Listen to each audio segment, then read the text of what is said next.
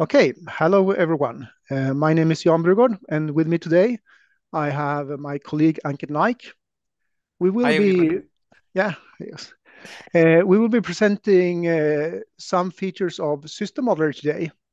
Right now, here I'm, I'm what flying is it, over Jan? uh, This System is not Modeler. system modeler. No, no, well, but we'll get back to that. Uh, so right now we're flying over over Linköping, where our head office is for the system model development, Lake Roxen. Um, and uh, there's there's actually a specific reason why I began with this this flight. And as, as Ankit pointed out, it's, it's not really system model we're seeing, but that's what we were going to talk about.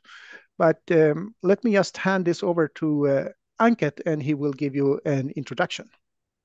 Thank you. Let me share my screen. Yes. Yes. Uh, so thank you, Jan. Uh, hi, everyone. I am Ankit, uh, applications engineer in the Wolfram System Modeler team. Uh, before we begin this presentation on latest features in System Modeler, uh, for those of you who are new to System Modeler, I just wanted to give a brief introduction to it. So what is System Modeler? Uh, System Modeler is basically a modeling and simulation tool uh, that can be used to model dynamic systems. Uh, this dynamic systems can range from, let's say, an automobile to uh, something from life, life sciences, like how does a drug uh, behave in a body, or it can be from like how uh, windmill uh, behaves in case of in case of wind loads, and there is and so many different other domains. Uh, in today's presentation, we will uh, take examples from uh, from the energy domain, from a business domain, and finally, we will uh, look at some models from the aircraft modeling domain. So uh, before we look into the features, uh, let me open up System Modeler so that we can start up with a simple example. So people who are new to System Modeler, uh, this is the uh, modeling interface of System Modeler, where you can see a canvas with some components in it. So what's happening in this model? Here, uh, we have two different bodies, and this uh, two different bodies are maintained at different temperatures. And there is a heat transfer operating between these two bodies by uh, a body radiation component. So when you model in System Modeler, uh, you have a, a library of uh, various of hundreds of pre-built components, which you can which you can easily drag and drop and create such systems. For this example, as you can see in this library, we have different sub-libraries ranging from electrical, mechanics, fluid, and thermal sub-libraries. For this example, uh, I have used the heat transfer library. Let's say uh, you want to add another uh, mode of heat transfer between these two bodies. Let's say you want to add uh, heat conduction between between these two bodies. So what you what you do is you go to this sub library and drag uh, this heat conductor element to the screen, and then choose the connection line tool and just uh, click the two ports. And now the model is complete. So now just by dragging a component and connecting with the two bodies, you have a model of where you, where you have a heat transfer process where you are transferring heat by conduction and radiation. Let me give it a value, let's say one. Now my model is ready. The next thing that I want to do is I want to simulate this model and try to see how the heat transfer operates, uh, how the heat transfer happens. So just to let you know, I have given some initial condition to my two bodies. The first heat capacitor is maintained at 20 degrees centigrade, and the second heat capacitor is maintained at 120 degrees centigrade. So to, uh, to simulate this model, you just have to press the simulate button, which you can see as the play button on this on the toolbar. Once you click the simulate button, you are uh, you enter the uh, the simulation center view. Uh, this is a view where you can explore the different the values of different variables. For instance, uh, in this model, uh, here you can see the how the temperature of the two bodies is changing. So heat capacitor 2.t is cooling and heat capacitor 1.t is is being heated until they reach a steady state temperature. In this view, uh, you have access to uh, the, all the variables uh, present in the components. For instance, the body radiation component has variables like change in temperature, uh, it has the net radiation conductance values and various and, and others. Finally, one last thing that I wanted to mention is in this view, uh, you can also test different scenarios. For instance, you can, uh, what would happen if the heat conduction value increases? So let's say you want to have it as 10 watt per Kelvin, and then you can rerun. And then you can see how, uh, how the, uh, the, how it quickly reaches a steady state temperature. So uh, this was a very short uh, introduction to the different interfaces uh, of system modeler, the modeling and the simulation interface. Uh, I hope this would give you some background so that you can uh, understand when, when we explain or when we show the new features in system modeler. to give you, before we start giving you concrete examples, I wanted uh, to give you an overview of the things that has happened in the last year. Uh, so in the last year, we have uh, we have worked on several uh, new features that uh, that are targeted at uh, reducing your design time, as well as we have added different Wolfram language functions which should help you analyze and quickly design systems. For instance, uh, here I'm uh, looking at the what is new web page of Wolfram System Modeler. And here you can see the different things that we have worked on.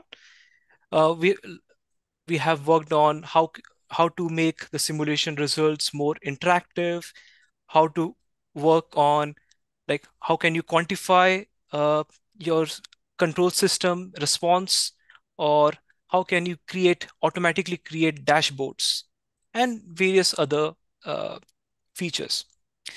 So if you want to have a overview of what are the new things, you can refer to it.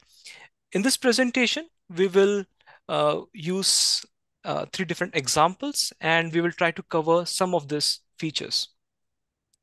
Also, over the last year, we have added uh, different blocks, which are basically customer stories and, and, and various workflows. So for instance, we have a blog on how to uh, work with the aircraft library or how to uh, model a software as a service companies and such. And finally, we have also released uh, various new libraries like the aircraft library for industrial users, the college mechanical engineering library for students, and, and various other libraries.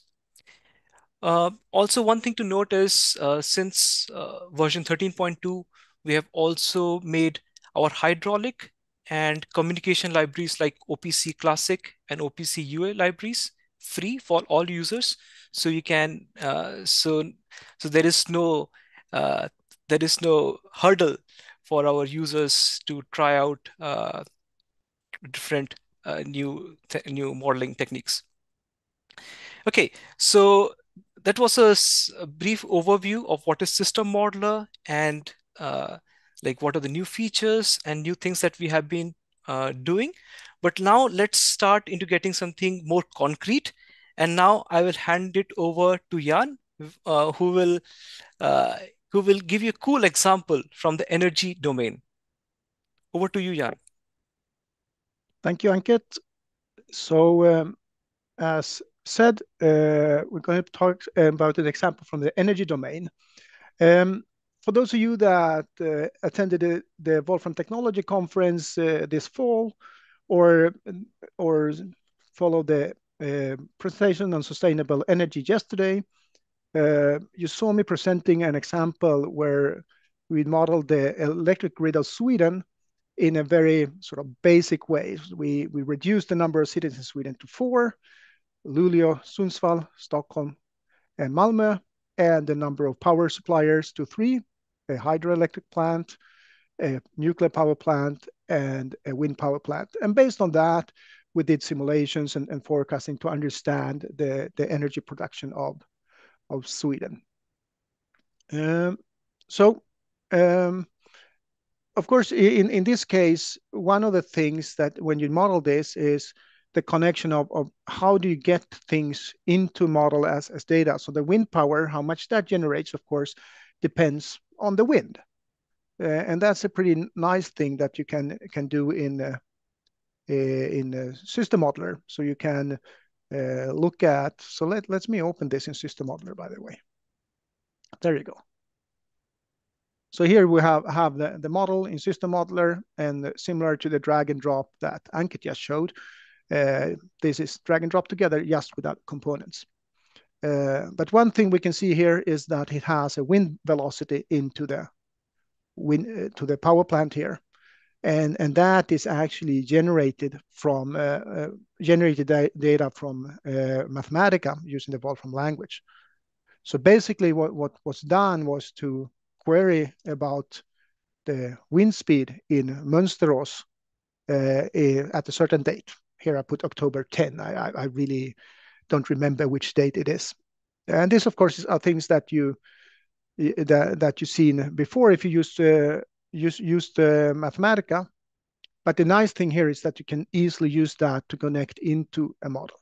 Now, um, this is using uh, data that already exists, historical data but sometimes you don't you want to forecast something and a way to do that might be or, or you want to create something more intelligent a way to do that is of course to to have something that would be an input through a neural net so i thought i'd change, show that in, instead because because we have a new workflow for integrating neural networks into the system models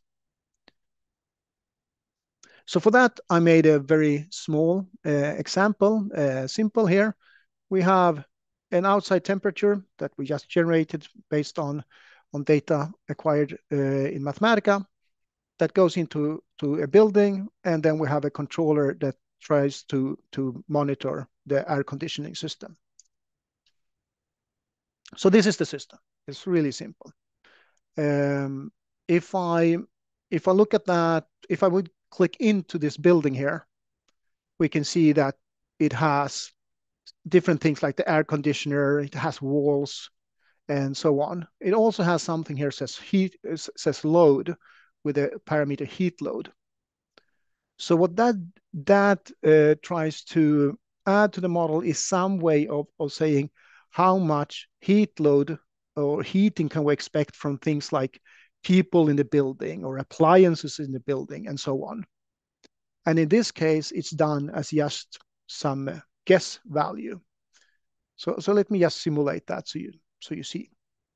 And by the way, uh, it, let's go back here. Uh, you saw uh, Ankit doing a model with, he started here with, with uh, these guys here, which are thermal capacitors, right? And, and change. And this, this reuses this to get the room inertia, but then it connects it to other systems. So it's more of a multi-domain system that, that doesn't stick to only thermal uh, modeling. Anyways, let's let's get this going. The plots you're seeing here are, are I'll, I'll get back to those if my memory doesn't fail me. Okay, so here we see it. Uh, what we see here is ambient temperature during one day, 24 hours, and then the room temperature. So we see how it's switching on and off here because it's an on-off controller that basically whenever it, it goes below uh, a certain value, we start to heat, and whenever it goes under, we start to cool down. And, and, and that way we, we try to maintain the temperature around some desired uh, temperature. In this case, it seems to be 20 degrees Celsius. Um, but now, uh, of course, there, might be things like um, you might be interested in how much energy is, spent. Here we can see over that day was 50 kilowatt hours spent for, for this entire building. Um, and then you can start to play around with things.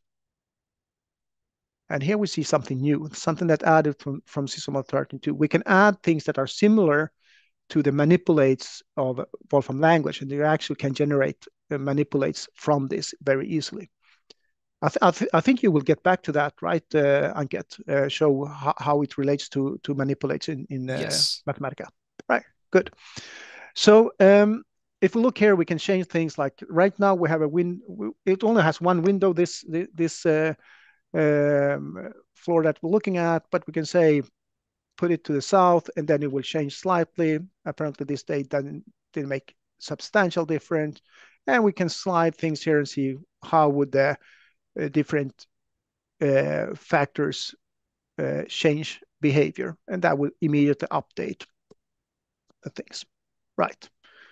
Um, so while, while this Explorer thing is new, um, one thing I said, what happens if uh, um, I also said here that we had this constant value that we were trying to give to say this is the heat load from uh, that added from people and so on.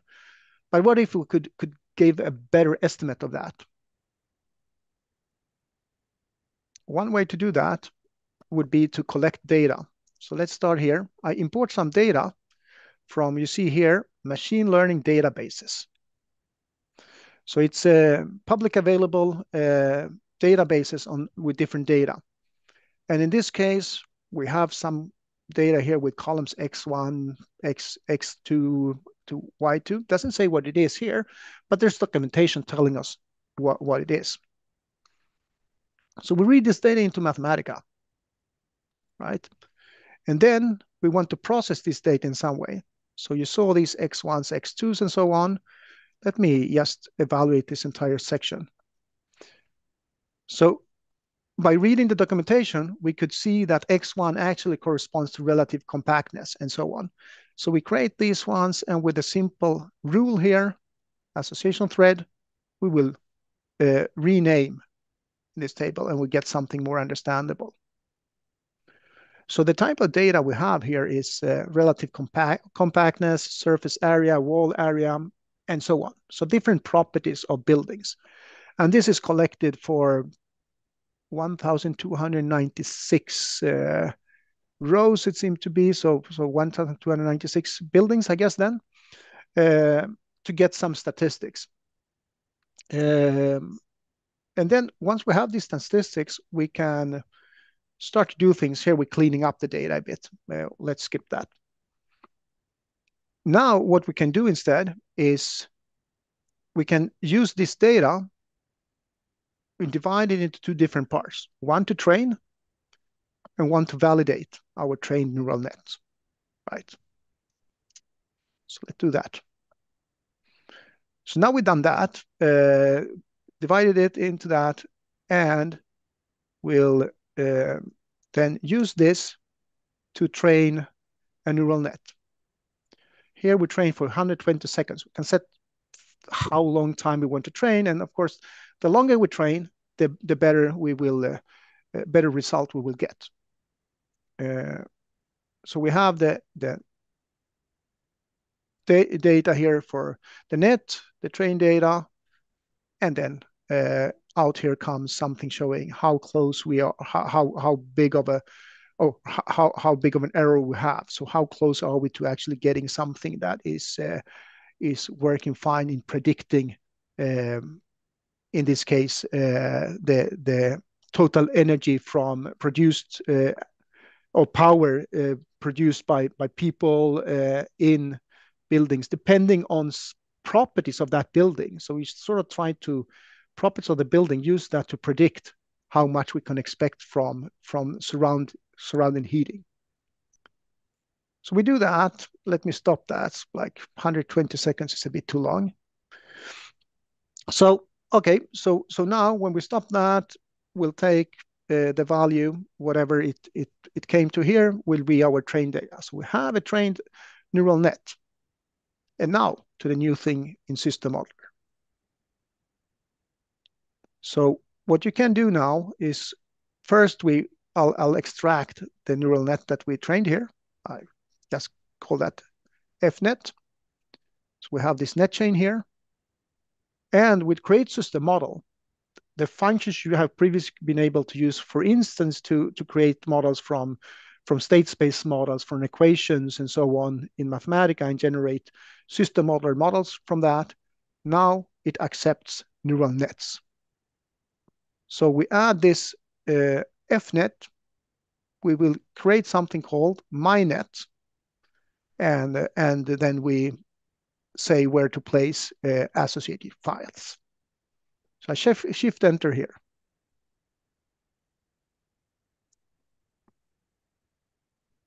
And get my net produced. So now I have a trained net that predicts, based on some factors, it predicts this uh, uh, power load that we would like to use in our model. So let's see here if he wants to scroll down. No. So let's do it this way then. Go directly here.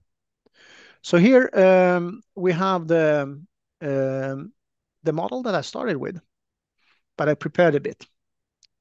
So I prepared it so I can switch here. I can redeclare this from where I use this guesstimate of, of, of uh, the power. I will now use the neural net instead. So I changed here neural net and you will see that the icon changes. However, if I open this, we can see that something is missing here. We have the same model as before. And remember here we had just an input, uh, a constant input that went directly here. Now what I will add here is this mynet that we just produced. Just like that. Right, so now I can connect this. So we'll connect that one. And we connect this one. So now we have, based on some properties, we can see here relative compactness, surface area, wall area, that you can set as a user here. It will use this neural net to predict your heat heat factor, heat power factor from from people uh, and other appliances, other things that that might heat up, uh, add heat to your building. And we can see those parameters here, but let's let me just simulate this again. But let's do this. Let's keep this first. Uh, I pin this so we don't overwrite it. And then we'll go back to this model here. So now this model, if I double click here, you can see that now we have this, this neural net in it. So let's go back and simulate.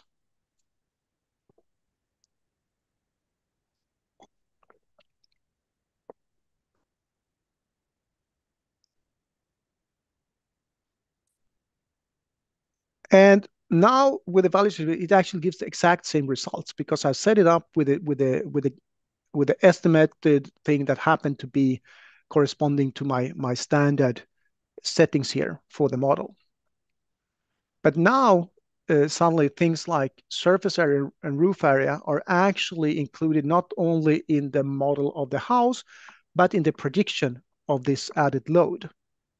So when I start to play around here, uh, it's no longer exactly the same. So let's change this to north. Uh, let's perhaps do this. Uh, yeah, we'll do that later. So, and we change the roof area, make that smaller, surface area of the house, make that smaller, and we'll give slightly different behavior. In all cases, we can see that the controller or the the AC system manages to keep our temperature around uh, the value you want. But it actually behaves slightly different depending on the settings. But perhaps that's easier to see if we look at the cumulative uh, energy in kilowatt hours. So here we have whatever it cost in this case. And if I go over to this pin version and I put that on top, we can see that the previous version cost a lot more. Uh, so this way we can now compare and see, start to change. Let's say now that we change the surface area here. And uh, let's do this. We, we uh, oh, that was the, the old one. We should do this on this one, sorry, where it actually has more. So that, that you saw that on the old model didn't make much of an effect. On this one, instead, it should sort of hopefully have more effect. Then you see that that sort of that this it separates more here between them. Um, good. Um, so um,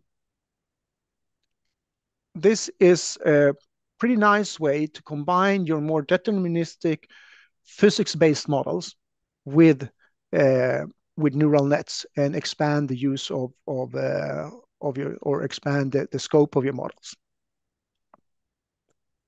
Um, there are plenty of material that we can, will post to you for additional resources on this.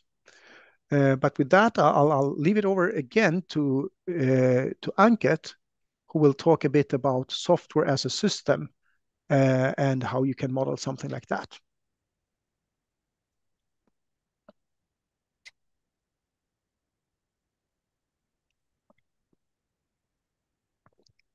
Thank you, Jan. Uh, as you said, like uh, uh, you showed you showed a nice example based on physics, but is it that but is it a requirement that we need uh, we can only model uh, models based on physics, or we can also model uh, social systems or uh, various other kind of uh, systems? And the answer is yes, uh, we can model different types of systems, like we can model the various business processes or uh, uh, and other social systems. And to do that, uh, uh, for explaining this uh, example on software as a service, I will use the business simulation library. to give a brief background, like how or before I go to the main example, I want to take a detour and try to come up with a very simple example of how you can use. Oh, can, I, can I can I stop yes. you a bit there? Can you can you zoom in a bit on on that uh, image because it's very small. Oh, okay. Yes, is this fine now? Yes, that's that's better. Oh. Then I think people can see. Thank you. Yeah. So yeah, so here's a simple uh, example uh, from this from this domain. Uh, let's say you are starting a manufacturing company and you want to figure out like as you start uh, uh, building up on uh, building up your company how much inventory uh, you're going to have. And you want to understand so that you can find a warehouse where you can store those inventories. So for a process that you have not started you want to model how things would look like. And here is this example here, this model of a simple production chain where you have uh, something called a producing block through which uh, you have a you give a production rate and then you store it in a component called inventory. From this inventory, uh, you have uh, you have a, a, a purchase uh, profile, and this purchase profile ships the inventory to your customer, and then your product has let's say a life of five years, after which it is scrapped and it goes to the scrapyard. So here is a simple, like simple uh, uh, production chain of a product, how it starts, how it's being produced, shipped, and scrapped. Using this model, uh, then you can uh, simulate it, let's say for, uh, here's, I've simulated it for 60 months. And here you can see, uh, let me zoom in, yes. So here you can see the blue curve shows how over the given span of time, the installed base is like how many products you have shipped to your customers.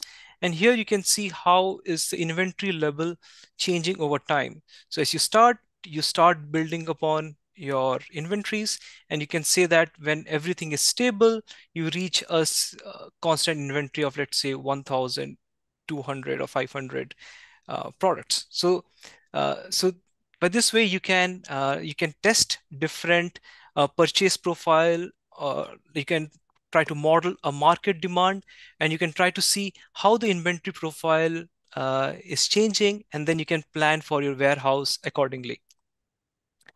And in this plot uh, is basically the di different demands and different rates I have used to model that. As you can see, the production was constant. And here for initial years, I was not shipping. And then I gradually started shipping at, and after which I reached a steady rate. And here is the scrapping thing, right?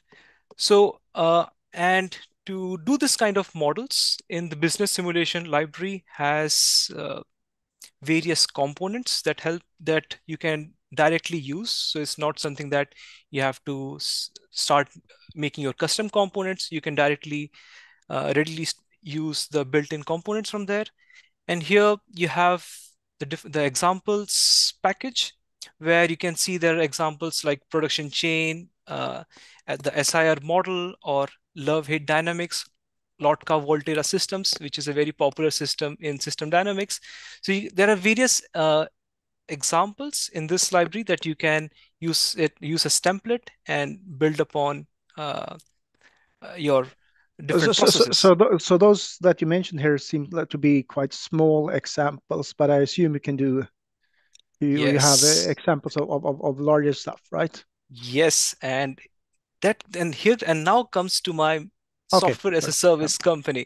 So just to give give background, Jan, of how I started with this model, I was watching uh, Shark Tank and uh, I saw I heard terms like okay, growth rate, a company's making losses, and people are projecting like how much marketing expense do you have.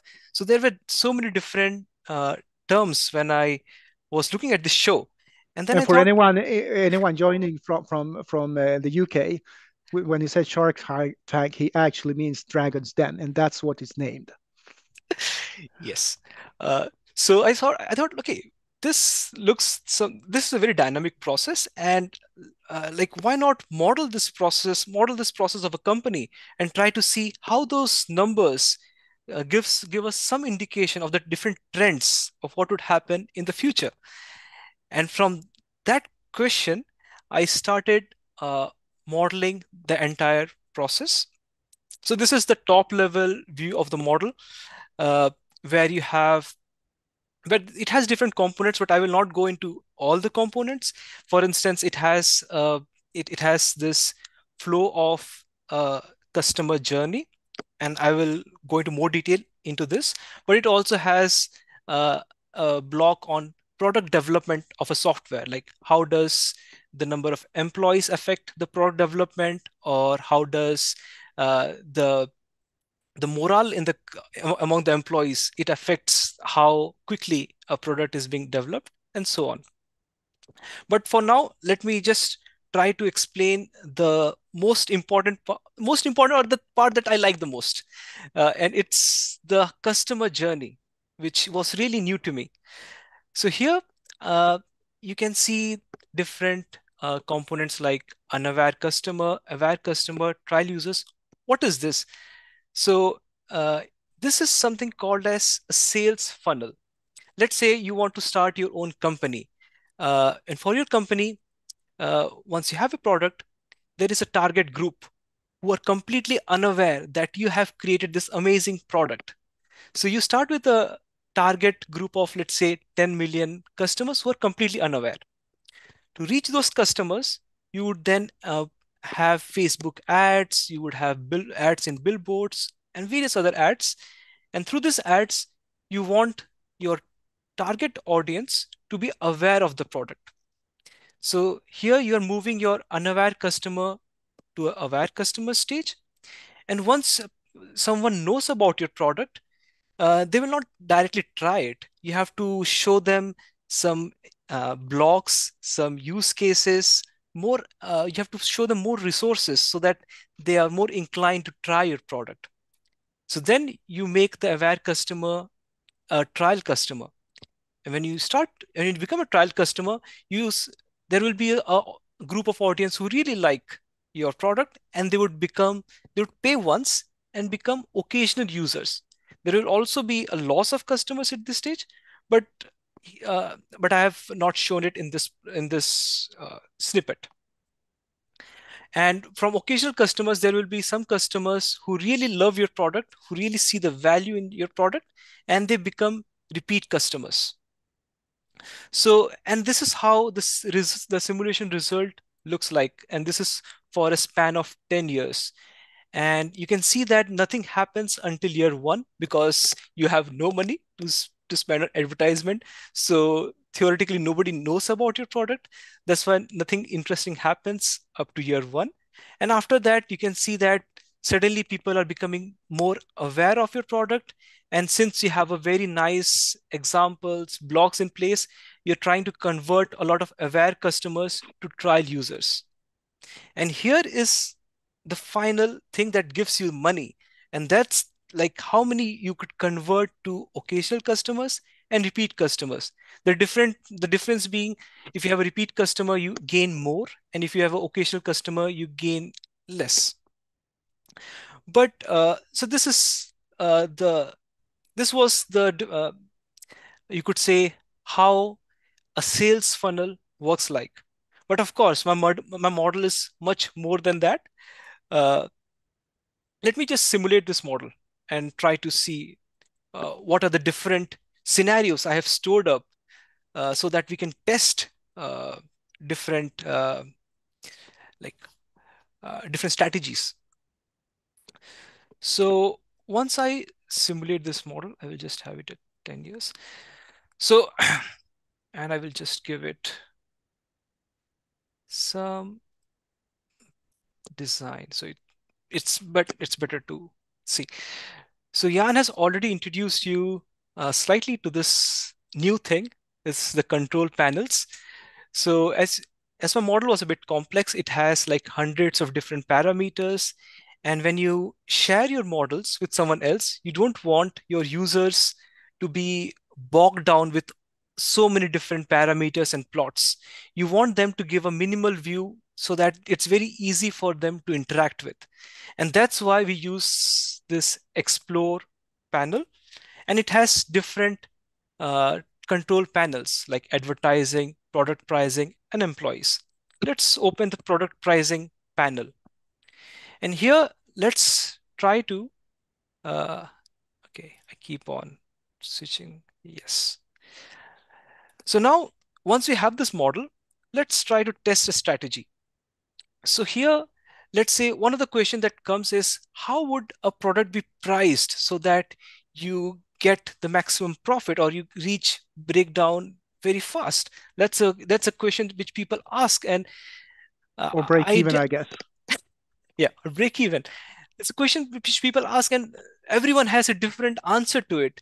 And I was like, okay, but what is the process like how what is the process that you're you're uh, basing your decision on so then let's look at this process so for my model let's say if i have a price of 100 i have used a unit of sharks in this case so if i have a, a constant price of 100 sharks and if i simulate my model you can see that at around uh, seven years i am reaching the break even and at the end of 10 years, I have around 103,000 uh, customers. Let's uh, try a different strategy, which you can see a lot of software as a service company do. Like they start uh, selling you the product for free. And after a few years, they put a price on the product. Let's try to see how that scenario would look. So let's say I have a very, uh, I have a minimal uh, uh, price of 10 sharks. And then after, let's say, three years, I increase the price, let's say, again to 100, uh, uh, 100 sharks. So let's see what happens here. So here you can see uh, that initially you are making loss, but at the third year, you, you start to break even. And, and, and why so? The reason being, uh, as you had a very small uh, price at the start, you were able to uh, reach a lot of customers. A lot of people tried your product, and they and and the assumption is that they were hooked by your product. And when you charged a price for it, they were so hooked that they were not able to move on. Of course, there are some people who, which you have lost. That's why you have you don't have a constant curve. There is a discontinuity here because you are losing a lot of customers as well. But still, people see people have actually tried your product and they see that there is a value in your product, and you can see uh, with this even if the rate of increase in customers is slow, you have attained break even and you have around 200,000 customers at the end. So, so this is a, this is a, at least this is a good insight to start thinking about how you should uh, price your product. This is not the the only way you should do it, but it shows your trend and it gives your thoughts some numeric values. You can quantitatively use this kind of methodology to design. Finally, uh, let's say you have this beautiful model in System Modeler, but you want to share your model with various other users, your friends, and you and they don't have System model, but they do have the desktop version of Mathematica. So, we, uh, so in the last release cycles, we have worked upon this resource function called system model manipulate, which as you can see automatically uses the control panels that you have stored in your model. This is the advertising and let me get back to the pricing. So here you can see you have a nice manipulate uh, with all the uh, all the data uh, from the control panels. And then this one you can easily share with others like just by a single line of code where you're just defining the model name and it's becomes so easy for for your users to get insight from it right i think i'm taking a lot of time jan so i will quickly uh, finish by uh, pointing you to some good learning resources like we have a blog exactly on this model which came up like one week or two week back uh, which you can refer if you want to know more about it. All the models, they are shared from that blog. And also there are various presentations on this way of modeling, which is called system dynamics. And there are various presentations and examples which you can refer to to learn more about it. And of course, if you have any question, feel free to drop us a mail. That's fine. But but or, or, or ask at the moment, as people people are actually asking at the moment, and, and we oh, will after okay. my part, I, I will be we will be answering together on on uh, those questions. So keep on uh, asking uh, yes. in the chat. Nice. Okay. Now uh, now to answer the question that Jan to answer my question that Jan uh, started with, like, what was that, Jan? Like, what were we? How are you playing with this aircraft thing? Can you tell us more about it? Yep. Uh, so let's uh, go back to to my screen here. There you go. Now you should see my screen, and let's go from software as a service to aircraft. Um, but yes, before we do that, uh, yes, the reminder uh, keep posting uh, questions. We will answer them uh, after this section of the aircraft. And, uh, and then also, um, as you saw, we have references and so on in, in the notebook. Um, this notebook will be posted for you in, so you will be linked from, from YouTube to a community post where you can, can get the whole notebook and, and get all the information afterwards.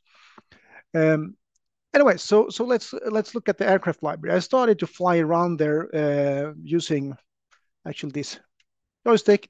So so the nice thing with with developing models is that you you can play a bit also, right? Um, and to give a bit of introduction to to uh, to this, we um, this fall we uh, released a new library for aircraft modeling.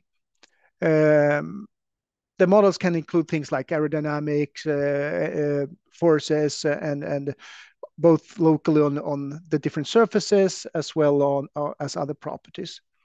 Um, and the idea with it is to make it easy to to uh, do quick testings of uh, both completely new new uh, concepts, new designs, but also alterations of designs that you you might be doing. Um, so, for instance, if you're looking into developing an uh, an electric aircraft at the moment, you would like to test that and see its performance. So that that's the the, the basic idea behind the library. Uh, but let me start with this example here. Um, perhaps increase that a bit, I guess, something like that. Is uh, this scenario here we have uh, says Pipistrel Alpha Electro.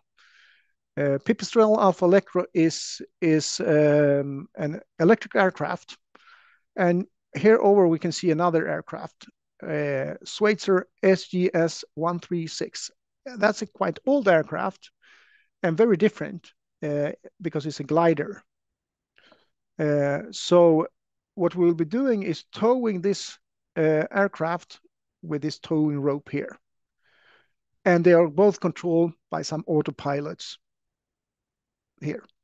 Let, let me just uh, go, go from there and, uh, and look at this model in the library actually. So uh, let's see here examples, and I'm starting to open the library here. You see there are a few examples, and here's the glider tow. So open that here, and, and you see the same things. If I go in and click on one of these, you can see there's a bunch of tabs. There's there's tons of things you can set to get the the exact properties of of your aircraft. Um, there are those pre-designed, like the Pipistrel, that you can just use. It's ready, ready set up and parameterized. But if you want to to make your own, you can parameterize and you can change it sort of as you want. You can change engines, you can change uh, um, uh, propulsion system, uh, the propulsion system as a whole, with with from electrical to electrical, from from uh, turboprop and so on. Um, but let's just let's just simulate this.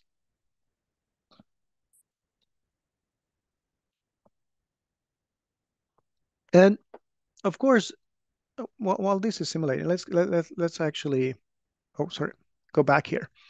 Um,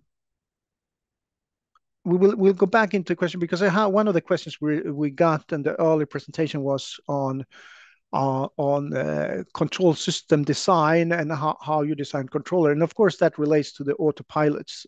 And here we have an autopilot, and we see it has a bunch of PID controllers uh, to control um, the the commands for for um, the throttle uh, and rudder and so on. And in comes uh, come, comes things like the alti the commanded altitude, velocity, and so on. So the question was, how do we design this? And and uh, I'll uh, I'll give this to you as an exercise, Ankit, to after this presentation show something to show a bit about control design and and uh, mathematics. So I hope you can can do that. Uh, that was kind of me, right? Yes. Uh, anyways, let's uh, this, this. Okay, so it's running a bit slower now when when we have Zoom the Zoom session running at the same time. So that was uh, odd. Uh, I hope, I guess that's that's the reason. Um, but there you go. Now now it will start simulating. Let let me under under uh, until it's done. Um, Zoom consumes a bit too much power every now and then.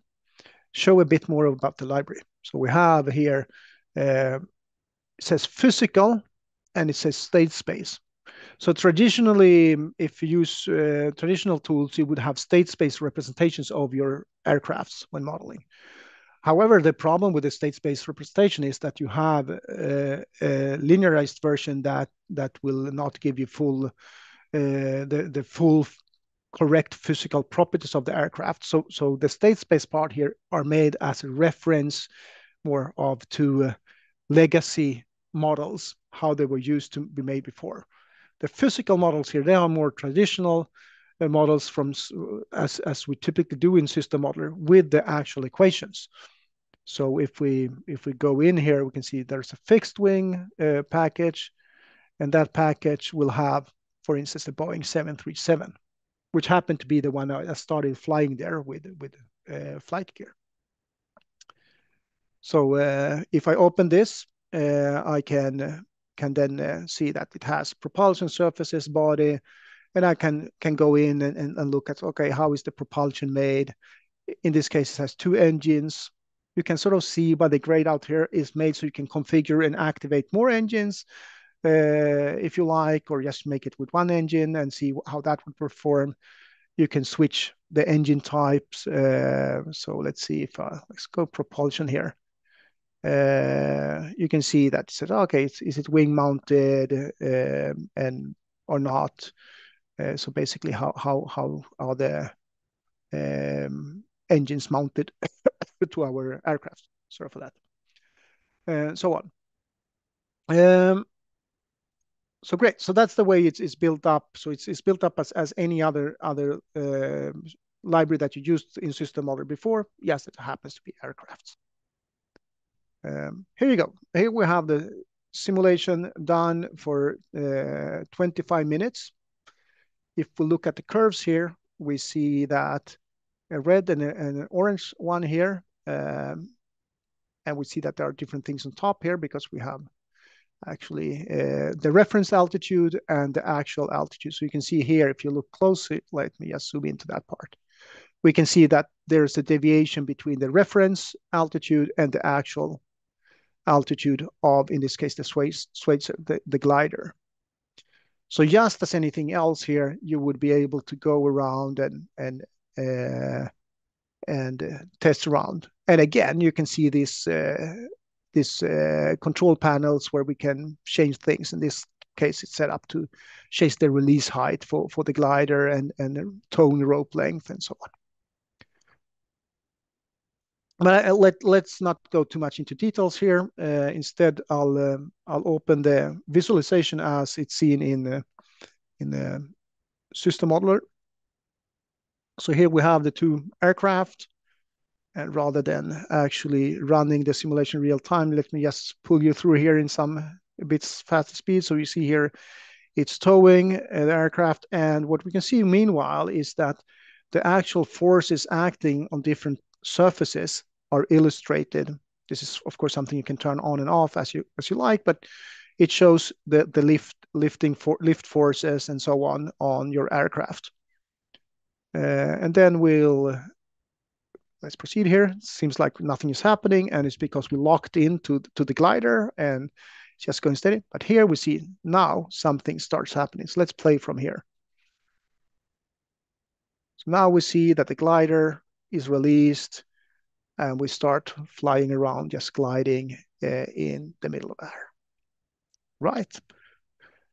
And that's the way a traditional uh, simulation in system model would look like when you animate, right? So it's, it's a rather simple uh, uh, animation environment because we're not really, it's not a game we're producing. We're doing this to illustrate things like the forces here.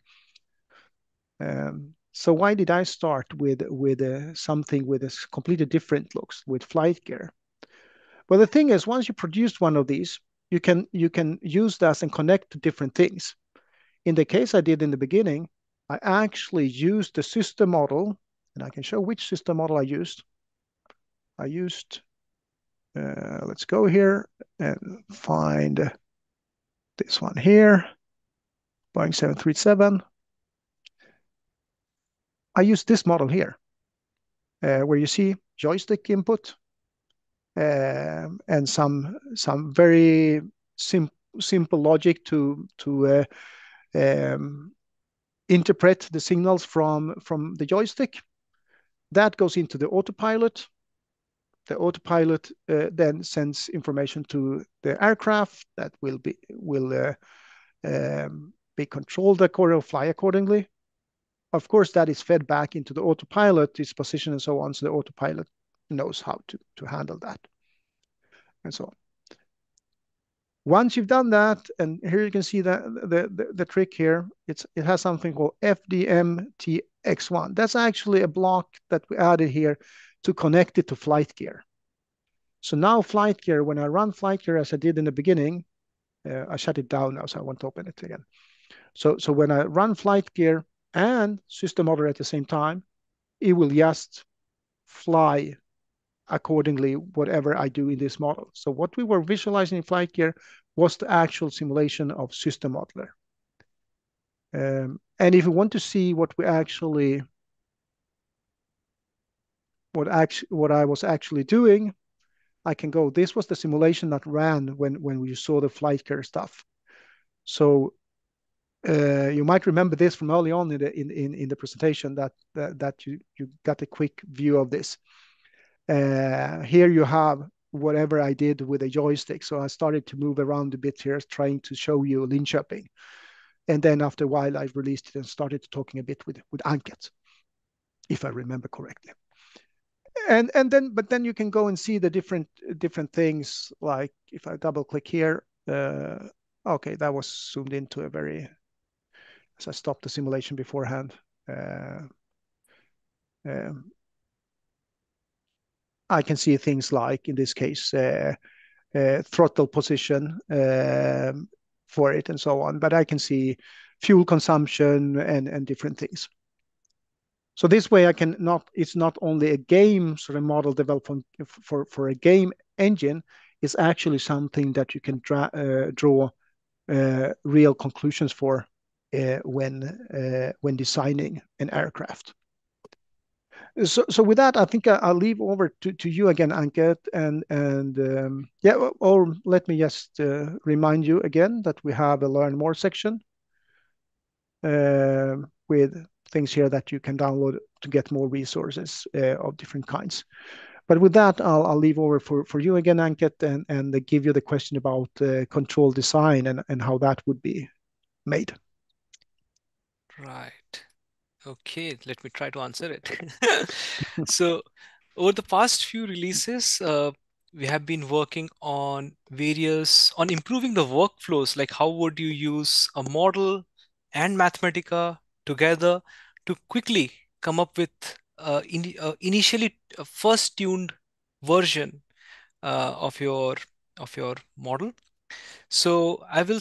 There are various examples, but I will start. I will try to explain or show you an example of a model predictive control that was uh, released in 13.2.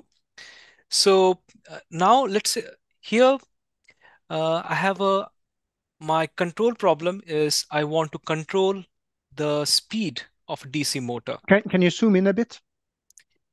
Yes. Yes, is this fine?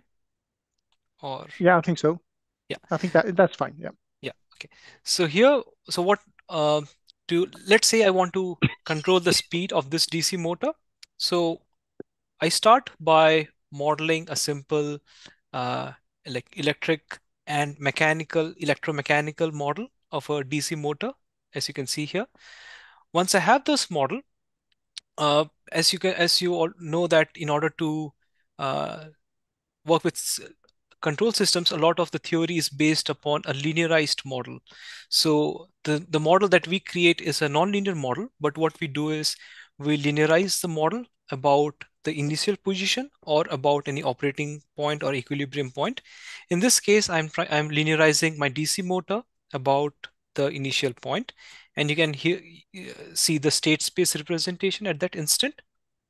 And once I have that, then uh, I can then I give some specifications like uh, I give a sampling period and I uh, give like what is the output that I want to track. In this case, W, which means the speed of uh, the DC motor.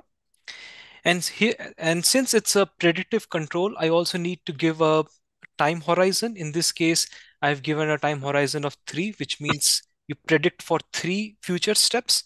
Then in the next step, you again rectify yourself and, and update the control logic. And the good thing with MPC control is you can actually give constraints, which is really important because sometimes you you end up giving too high input and some of the physical constraints are not uh, uh, are not followed. For instance, I want to um, control the amount of current that is flowing in my circuit. So I give it a range like 0 to 1 ampere. And then we have this new model predictive controller function where you just specify uh, the specification, the the model, and the uh, the constraint. And what it does is it gives you the MPC uh, controller, the first version of the MPC controller, and then you can use a connect system model controller to automatically connect your controller with the plant. So this function, you get a controlled system. And once you use a control system, let me, in this step, what I've done is I'm given it a reference signal, and let's see how the system behaves. So here you can see uh, the blue line shows uh, the actual velocity and one is the reference that I've given. Initially, my shaft was at rest. So there was, so it starts with zero and I give it a reference of one radian per second. And you can see how uh, the speed is trying to, is, is attaining the reference speed here. And then you can, uh, so, so this shows that the model is, uh, is able to attain the reference speed, but what about the current? So once you plot this current, you can see that the value of the current is like 0.04 for my toy example here. So you can see that it's below uh, uh, one ampere and above zero. So it's it's respecting uh, my niche, my constraints. And one thing, one new thing that we have also added in the last release is once you when you are working with control systems, you have to work with different control philosophies or different control logic. And the thing is, once you test a control logic, you want to compare two different uh, control logics. And to easily compare that, you need some parameters, some performance parameters for a logic. So we have this new system model measurements, which gives you this performance parameters. For instance, in my previous curve, like here you can see my the settling time of 30 seconds. So my system settled down at 28.6 seconds. And also there was an overshoot of 10.7%. For some systems, it might be tolerable. For some systems, it might not be tolerable. So, so if you want to compare two different control logic, you can uh, quickly do that using this new uh, system model measurements function. But this was on MPC. If you are working on, uh, we also have examples, uh, which you can find it out in our web page, where if you are working on pole placement philosophy, then we have this uh, hovering control of a submarine, which is working like a regulator. You're trying to maintain it at a constant position. And here you can see that you have used, we have used the state feedback gains Now function. this is very small. okay, okay, okay. Yes, thank you for reminding me. uh, so then you have this state feedback gains thing where you can use the pole placement uh, control design philosophy, and then you can use the same connect system model controller to give you a controlled system, and then you can see how uh, how an uncontrolled system would behave, and the orange one how a controlled system would behave. Similarly, so so uh, so in general, uh, we we have other questions too here Sorry. to to get to get during time. So so if I would summarize this a bit, is that there are different ways to to do the the controllers, uh, and uh, there will be linked examples to that. Uh, and this is one thing we're also adding new features all the time on on the control design and optimizing it more and more for you so it should be as smooth and, simple as possible uh, and typically well, that part you, have the system model developed in system model, and then you do the control design in the Wolfram language, as you saw here in the examples. If you keep sharing here, I'll, I'll, I'll, I'll see the questions, uh, some of the questions here, uh, uh, Ankit. Um, and let, yeah, okay, so there's one here that I, I, I think I can answer directly. It's on uh, somebody thought it was nice to see discontinuity discontinuities uh, uh, getting modeled and uh, then asking if there if it's if these variables can be integer integer based and yes they can. Uh, so nothing such a fractional number. Yes you can. And and i don't know if you already happen to have an example for that. You can uh, Ankit or not. Uh, uh, for business uh, for business case uh, i don't have an example right away. No for, you... for any case so but but anyway so so let, let's let's just say it, it does work. We can we can post examples of that afterwards. You can even do let's say enumerations rather than than referring to uh, so rather than having one two three they will be called yeah you could see see, see the north south west uh, that I had in my model, that actually corresponds to integer values uh, 4, 3, 2, 1 in, uh, in some order. Uh, so, so that's actually integer values representing that in the model, but they are then uh, enumerated with some some name that is more easily recognizable for for you as a user. Right. Um, we have um, uh, also a question in, in finance related that perhaps is yes. something you can answer. You you seen that on time for value of money, interest yes, uh, yes. I I don't have an example, but I do have a component. Uh, so here uh, in the business simulation library, you have uh, information processing sublibrary, which has uh, the various financial related terms like calculating present value, time value of money, trend, trend based forecast. So these are the things which can help you in discounting and all uh, those time related things. Uh, and, and, and you said you were using sharks uh, in in your model, so I assume that means that you you created that that as your own unit in the model and then use that, right? Yes, yes. So I used a custom unit. Yeah. So so case. so with that, it is possible to do custom units. So if there is a unit you're missing, then you can define it yourself, uh, and and whether that's sharks or or dragons, or some other unit, you are perfectly welcome to to to add that to your models, or you use built-in SI units and other units. Um,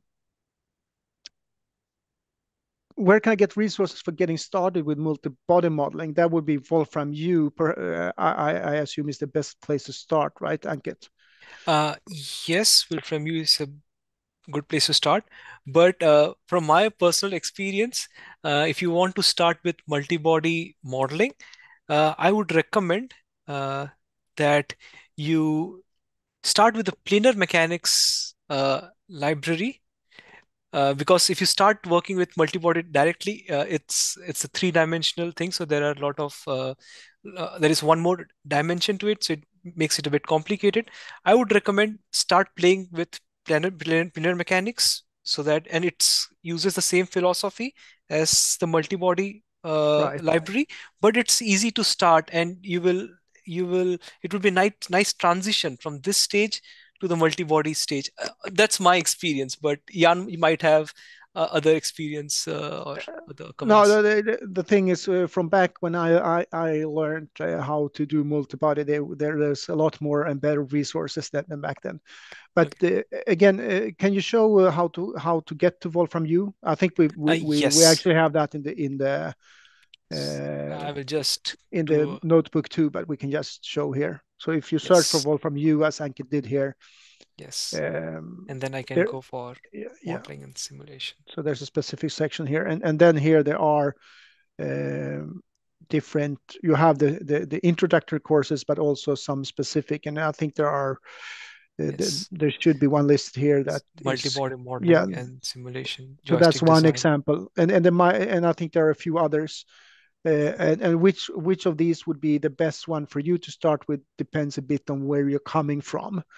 Um, but yeah, so so probably the one that that Ankit showed there is is a good starting place after you uh, when you start with a multibody itself. Um, okay, let's see here, uh, and, and keep coming with questions if if you have any more questions. Other components which may help model the effects of EM wave on the polarization of air molecules. Uh, not built in, um, and I don't know if there's any third party. This is completely outside the scope of what I, I, I typically do. So so I, I don't know. There, there are third party libraries that might do this. I I, I'm, I don't know any, but I, I can't say that it doesn't exist. Uh, just can say that I don't know if there is. But that to, that that yeah. that brings to a question, Jan. Like, can people use only libraries available in our library store, or can people use other libraries? Like, where can people yeah. find libraries? Yeah, of course. There, there there's a lot of so so this uses the Modelica technology, and there's a lot of of libraries. Some of them, some some of them are uh, current, updated, others uh, not. So you have to find the robust, good libraries, and then you can can try those. And that's GitHub, things like that, you might find additional libraries. Um, and um, and of course, if if you have developed the library, you can also share that with uh, with other users. Um, by the way, I don't know if you mentioned that when I was reading, when I was, uh, uh, when you were presenting the control design part, I was reading the questions, so I missed if you if you pointed out that what we were looking at was uh, a cloud notebook. Uh, oh yes. So what that. we are, uh, what Okay, yes. So what we are looking here is a cloud notebook. So, uh, so you have system modeling uh, in the cloud as well. You don't have the graphical interface, but let's say you have created a model.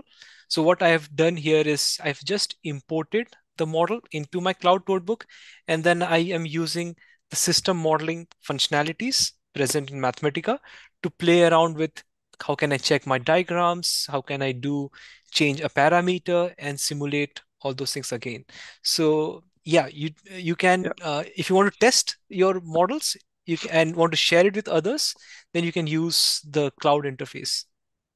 Right, so, and here we got got some help from from, uh, from a user regarding the previous question, uh, and it says, I think these are 3D PDEs, partial differential equations and and then he asked, does Modelica uh, handle more than 1D? If it's a if it's a PDE problem, then then that's something that you could do in in uh, the Wolfram language, but the system model and and the Modelica language the system model uses does not support that. Is system model is is used for the thing that is called zero D by some, one D by others. I'm on the one D side. I don't know what you are, Ankit. Um, hopefully you're on the 1D side too. Uh, but basically, th things that have uh, where you're not looking into the fine-grained details in space. Uh, one one could say you're more focused on what ha happens over time, things that can be described by differential equations. Um, that said, there are people doing some PDE modeling using Modelica, but that's that's really tweaking it and, and stretching it it's not what it's intended for. Yeah, and yeah, I see. Yeah, you brought up here uh, here a bit. Uh, because, what is if you want to learn a bit more about Modelica, these are really good resources. So, yes, yeah, and, and and also when we got this question about where can I learn about multi-body modeling, uh, like when you have those kind of questions, uh, it's a very uh, our resources section is a very nice section to go and have a quick overview and try to search for for things. Like one thing I wanted to mention was this book. We have this computer modeling and simulation book that also has uh, some uh, has some chapters on multi-body modeling. So that can also be could also be relevant if you want to uh, learn about it. But in general, we also have uh, recordings like we have we have had study groups in the past, and in this page you can uh, based on your interest. There is these are all one hour uh, interactive sessions that we have had before, and you can watch this recordings. Uh, uh, there are many who have found this useful. And as Jan said, system model is based upon the Modelica technology. And if you are new to this term, then we have a nice uh, what is Modelica page where with nice videos, which gives you a good understanding of the of the technology that our tool is based on. So, but in short, uh, our resources page I feel is is a very good resource to start uh, browsing for materials. Thanks. Yes, and and, and I, I, think we're running out of time uh, from from uh, the the time we were giving given here. So, if somebody has a very fast last question, we we might answer that. Uh, otherwise, uh, I think we're, we're about to wrap it up and uh, hope it uh, the flight was not too bumpy for you guys and that you got, got some some interesting information. if there are questions you did you, you still have, you you can of course join that community post uh, and and add more questions there, and we try to answer them through that. Um, would you like to add anything more, Ankit? Uh, yes, I have the final slide of my presentation left. yeah, no. that's right. no, yeah. So basically, yeah. uh, if you if you are from uh, like the presentation notebooks, you can find it in the community post. Where uh, we have links to our examples section. So if you are coming from a particular domain and you want to look into specific examples from your domain, our examples page is a nice place to start with. Uh, I showed you the what's new page, but as Jan mentioned, the Wolfram uh, web, uh, page is a very nice place to to learn different math things related to mathematics and system modeler. But the thing that I like the most is the Wolfram, uh, if uh, is the Wolfram community, and we have our system modeler uh, forum there.